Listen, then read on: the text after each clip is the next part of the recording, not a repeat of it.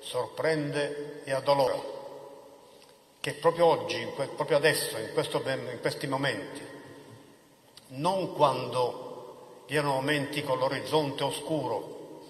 quando si temeva il crollo del Paese, ma oggi, adesso, in cui vediamo una ripresa incoraggiante, economicamente, socialmente, culturalmente, in cui il Paese si sta rilanciando, proprio adesso esplodono fenomeni, iniziative e atti di violenza, di aggressiva contestazione, quasi a volere ostacolare, intercettare la ripresa che il Paese sta vivendo e che deve essere condotta a buon fine, con fatica, con impegno, ma in maniera indispensabile. Sono comportamenti che creano allarme, o meglio, creano tristezza, non molto allarme,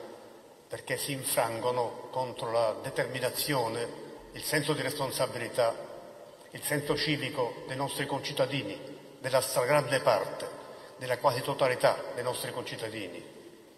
Questa è la vera forza del nostro Paese,